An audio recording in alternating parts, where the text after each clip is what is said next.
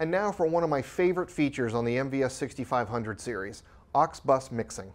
How many times have you had multiple studio monitors on the set with different sources feeding every one, and as luck would have it, the director wants a dissolve in each of them? I could use ME banks, but it's far easier to use an aux bus mix, and I have a lot more aux buses than MEs. So over here on my multi-display, I've got aux bus 1 and aux bus 3. It's going to be easy to show how to set this up if we go to Engineering Setup, switcher, output, and we select aux mixing.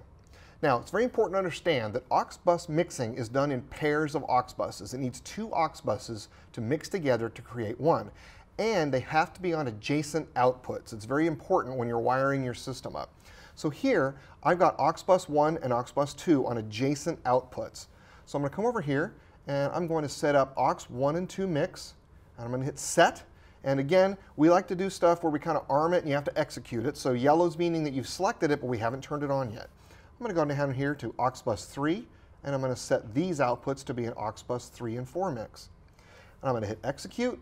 So you notice here that aux 2 and 4 have grayed out because I don't really have any control or even really any use for those anymore because aux 2 is used to feed aux 1 and 4 to 3 and so on and so on. So over on the control panel, we have a special button down here in the lower right-hand corner of the crosspoint area called aux mix. And what this is going to do is for each pair of aux buses, we can decide whether or not we want the aux bus to mix or not. So for instance, here's aux bus 1, and right now aux mix is turned off. If I change things, you can see that I've got a cut going at aux 1. If I turn aux mix on, it's now armed. If I select another machine, it's going to automatically dissolve in here. Now, if I want to set the transition rate, it's very easy to do. We're going to go to the miscellaneous menu on the touchscreen. And you go down to transition. By the way, this is a great place to set every single transition rate on the entire switcher. But if you go one over, you're going to see aux mix.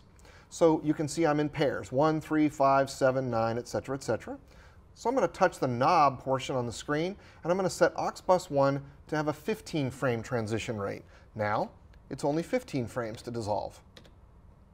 And I can set these, of course, independently. I'm going to go to aux3, and let's set that for, oh, I don't know, 45 frames. Let's make it really, really long. So we can go over here now to aux3, and let's change it. Now, why are we cutting? Remember that the aux mix button is set on each pair of aux buses. We never turned it on for aux3, so aux3 is still in a cut mode. So let's turn it on, and now we will dissolve on our slow dissolve here, and go over to aux1 and do it that way.